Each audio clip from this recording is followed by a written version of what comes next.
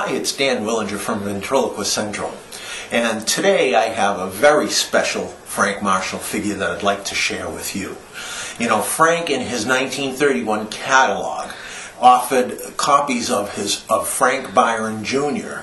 and uh, that never had a price in it. I guess before he could sell it, he had to have permission to build it, and then when he got the permission, he would give the price.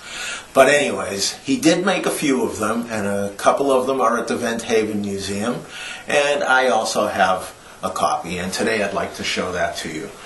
This is a uh, Frank Byron copy made by Frank Marshall, and uh, he's a pretty loaded figure. He has a lot of movements. He's got uh, mouth movement, and he's got raising eyebrows. He has a flip-up wig. He has a whistling effect and uh, he also has, uh, I think it's wiggling ears, I don't mind. Oh, oh, there it is. Yeah, wiggling ears. When I got this figure, uh, the wiggling ears, the cord actually was trapped. And I, it's all original. And, uh, you know, I just did not want to break this head open. But uh, Lee Dunn, good friend of mine, a figure builder, happened to come to spend Thanksgiving with me and uh, if you look at some of the pictures on the website, you'll see Lee actually went inside the head through his mouth and uh, actually got that spring unjammed from the uh, controls and got the uh, ears moving again. The other thing that's unusual is that the Frank Byron figures had rather large hands.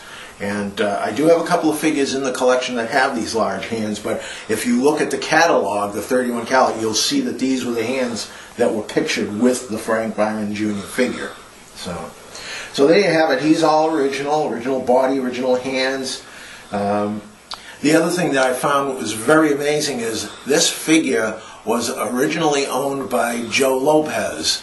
Uh, he was from New York at the time, and he was a very big lover of uh, Frank Byron, and has always wanted. And he happened to have owned this figure, and he sold it, and it was gone for 30 years until it actually ended up with Ventriloquist Central, and then Joe contacted me to let me know that uh, he in fact owned it. You can see the whole story if you read about it on the um, tribute page, of the uh, collection of Frank Marshall figures. Scroll down and take a look at this one and read all about it. And there's pictures of uh, the previous owner with the daughter holding the figure.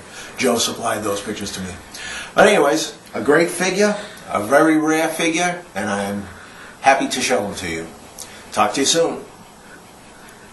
Always remember, I'm looking for ventriloquist figures for the Ventriloquist Central collection, so let me know what you've got. Talk to you soon.